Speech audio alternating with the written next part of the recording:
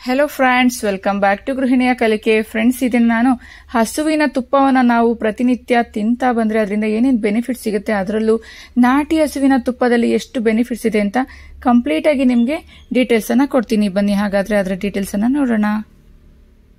ನಾವು ಪ್ರತಿನಿತ್ಯ ತುಪ್ಪವನ್ನು ತಿಂತಾ ಬಂದರೆ ಕೂದಲು ಉದುರುವ ಸಮಸ್ಯೆಗೆ ಹಸುವಿನ ತುಪ್ಪ ವಿಶೇಷ ಆರೈಕೆಯನ್ನು ಮಾಡುತ್ತೆ ನೀವು ಎರಡು ಟೀ ಚಮಚ ಬಾದಾಮಿ ಎಣ್ಣೆ ಅಥವಾ ತೆಂಗಿನ ಎಣ್ಣೆಯ ಜೊತೆಗೆ ವಿಟಮಿನ್ ಇ ಮಾತ್ರೆಯನ್ನ ಮತ್ತು ಸ್ವಲ್ಪ ಬಿಸಿ ಮಾಡಿದ ತುಪ್ಪವನ್ನ ಸೇರಿಸಿ ಮಿಶ್ರಗೊಳಿಸಿ, ಈ ಮಿಶ್ರಣವನ್ನ ನೆತ್ತಿಯ ಮೇಲೆ ಹಾಕಿ ಮೃದುವಾಗಿ ಮಸಾಜ್ ಮಾಡಿ. ನಂತರ ಸ್ವಲ್ಪ ಸಮಯ ಹಾಗೆ ಬಿಡಿ. ನಂತರ ಬೆಚ್ಚಗಿನ ನೀರಿನಲ್ಲಿ ಸ್ವಲ್ಪ ಶಾಂಪೂವನ್ನು ಬಳಸಿ ನೀವು ಕೂದಲನ್ನು ತೊಳಿತಾ ಬನ್ನಿ. ಈ ರೀತಿ ಮಾಡ್ತಾ ಬಂದರೆ ಕೂದಲು ಉದುರುವ ಸಮಸ್ಯೆಯಿಂದ ನಾವು ದೂರ ಇರಬಹುದು. ಇನ್ನ ತೂಕ ಇಳಿಸಲು ಸಹಾಯ, ತುಪ್ಪ ಸಹಾಯ ಮಾಡುತ್ತೆ. ಆಹಾರ ತಯಾರಿಸುವಾಗ ಅಂದ್ರೆ ನೀವೇನಾದ್ರೂ ಫುಡ್ನ ಮಾಡ್ತಾ ಇದ್ರೆ ಎಣ್ಣೆ ಬದಲು ಒಗ್ಗರಣೆಗೆ ಎಣ್ಣೆ ಹಾಕ್ತಿರಲ್ಲ, ಅದರ ಬದಲು ತುಪ್ಪವನ್ನ ಬಳಸಿ. ತುಪ್ಪದಲ್ಲಿ ಆರೋಗ್ಯಕರವಾದ ಅಮೈನೋ ಆಮ್ಲವಿರುತ್ತದೆ. ಇದು ಕೆಟ್ಟ ಕೊಬ್ಬನ್ನ ಅಂದ್ರೆ ಕೊಲೆಸ್ಟ್ರಾಲ್ನ ಕರಗಿಸುತ್ತೆ. ಇದರಲ್ಲಿ ಒಮೆಗಾ ತ್ರೀ, ಒಮೆಗಾ ಸಿಕ್ಸ್ ಕೊಬ್ಬಿನ ಆಮ್ಲಗಳಿವೆ. ಇದು ಜೀರ್ಣಕ್ರಿಯೆಗೆ ತುಂಬಾನೇ ಸಹಕಾರಿ. ಹಾಗಾಗಿ ದೇಹದ ತೂಕವನ್ನು ಇಳಿಸಲು ಇದು ಹೆಲ್ಪ್ ಮಾಡುತ್ತೆ. ನಾ ಹೊಳೆಯುವ ಚರ್ಮ ನಿಮ್ಮದಾಗಬೇಕು ಅಂದ್ರೆ ತುಪ್ಪವನ್ನ ನೀವು ಮುಖಕ್ಕೆ ಲೇಪನ ಮಾಡ್ತಾ ಬನ್ನಿ. ಹೇಗೆ ಅಂದ್ರೆ ಒಂದು ಬೌಲ್ನಲ್ಲಿ ಎರಡು ಟೀ ಚಮಚ ತುಪ್ಪ, ಎರಡು ಟೀ ಚಮಚ ಕಡಲೆ ಹಿಟ್ಟು ಎರಡು ಟೀ ಚಮಚ ಅರಿಶಿಣ, ಒಂದು ಟೀ ಚಮಚ ಹಾಲನ್ನು ಮಿಕ್ಸ್ ಮಾಡಿ ಇದಕ್ಕೆ ಸ್ವಲ್ಪ ಅಕ್ಕಿಟನ್ನು ಸೇರಿಸಿ ಮಿಕ್ಸ್ ಮಾಡಿ ಮುಖ ಮತ್ತು ಕತ್ತಿನ ಭಾಗಕ್ಕೆ ಹಚ್ಚುತ್ತಾ ಬನ್ನಿ. ಹಚ್ಚಿದ ನಂತರ ಇಪ್ಪತ್ತೈದರಿಂದ ಮೂವತ್ತು ನಿಮಿಷಗಳ ಕಾಲ ಹಾಗೇನೆ ಆರಲ್ಲ ಬಿಡಿ. ಇದು ಆರಿದ ನಂತರ ಮೃದುವಾದ ನೀರಿನಲ್ಲಿ ಸ್ವಚ್ಛಗೊಳಿಸಿ.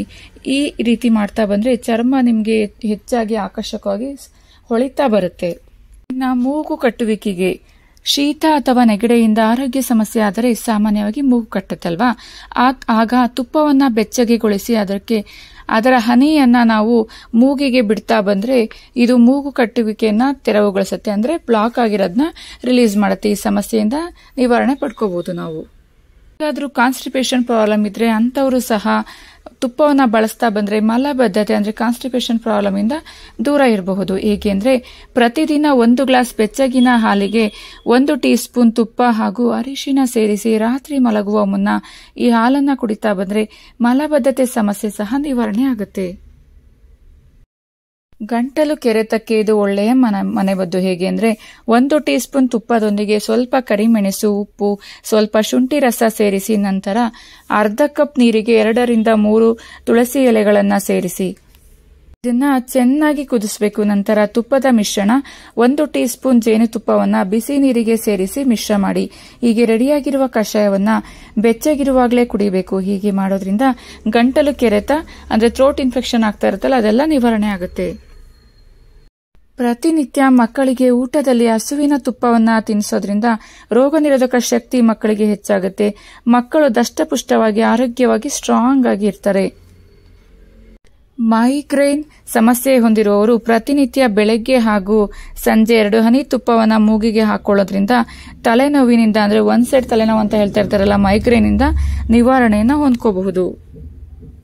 ಹಾಗೇನೆ ನಾವು ಪ್ರತಿನಿತ್ಯ ತುಪ್ಪವನ್ನ ತಿಂತಾ ಬಂದ್ರೆ ಜ್ಞಾಪಕ ಶಕ್ತಿ ಸಹ ಹೆಚ್ಚಾಗುತ್ತೆ. ಇನ್ನ ಮೂಗಿನಿಂದ ರಕ್ತ ಬರುತ್ತಿದ್ದರೆ ಕರಗಿದ ತುಪ್ಪವನ್ನ ಮೂಗಿನ ತುದಿ ಹಾಗೂ ಹೊಳ್ಳೆಗಳ ಒಳಗೆ ದಿನಕ್ಕೆ ಮೂರರಿಂದ ನಾಲ್ಕು ಬಾರಿಯಂತೆ ಹಾಕ್ತಾ ಬನ್ನಿ. ಹೀಗೆ ಮಾಡಿದರೆ ಮೂಗಿನಿಂದ ರಕ್ತ ಬರೋದು ಸಹ ನಿಲ್ಲುತ್ತೆ. ಕಣ್ಣಿನ ಆರೋಗ್ಯಕ್ಕೆ ಸಹ ತುಪ್ಪ ತುಂಬಾನೇ ಒಳ್ಳೆಯದು. ಇನ್ನು ಮೂಳೆಗಳು ಸಹ ತುಂಬಾನೇ ಸ್ಟ್ರಾಂಗ್ ಆಗುತ್ತೆ.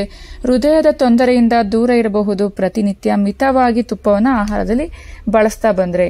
ಹಾಗಂತ ನಾವು ತುಪ್ಪ ತಿಂತೀವಿ ಅಂತ ತುಪ್ಪನ ಯಾವುದನ್ನು ಅತಿಯಾಗಿ ತಿನ್ನಬಾರ್ದಲ್ಲ ಎಷ್ಟು ಬೇಕಷ್ಟು ಮಿತಿನಲ್ಲಿ ಇದ್ರೆ ಅಮೃತ ಅಮೃತ ಆಗಿರುತ್ತೆ ಇಲ್ಲಾಂದ್ರೆ ಅಮೃತವು ಸಹ ವಿಷ ಆಗುತ್ತೆ. ಹಾಗೇನೆ ಗಾಯಗಳಿಗೂ ಸಹ ತುಪ್ಪನವನ್ನ ಆಯುರ್ವೇದದಲ್ಲಿ ಲೇಪನ ಸಹ ಮಾಡ್ತಾರೆ. ನೋಡ್ತಾ ಇದ್ದೀರಲ್ಲ ಫ್ರೆಂಡ್ಸ್ ತುಪ್ಪದಲ್ಲಿ ಎಷ್ಟೊಂದು ಬೆನಿಫಿಟ್ಸ್ ಇದೆ ಅಲ್ವಾ? ಸೊ ತುಪ್ಪವನ್ನ ತಿಂತಾ ಬನ್ನಿ. ನಿಮ್ಮ ಆರೋಗ್ಯ ನಿಮ್ಮ ಕೈಲಿದೆ ಅಲ್ವಾ? ಹೀಗೆ ನನ್ನ ಗೃಹಿಣಿಯ ಕಲಿಕೆ ಚಾನೆಲ್ನ ನೋಡ್ತಾ ಇರಿ ಫ್ರೆಂಡ್ಸ್ ಮತ್ತೊಂದು ವಿಶೇಷವಾದ ಮಾಹಿತಿ ಜೊತೆ ನಾನು ನಿಮ್ಮನ್ನ ಭೇಟಿ ಮಾಡ್ತೀನಿ. Thank you for watching thank you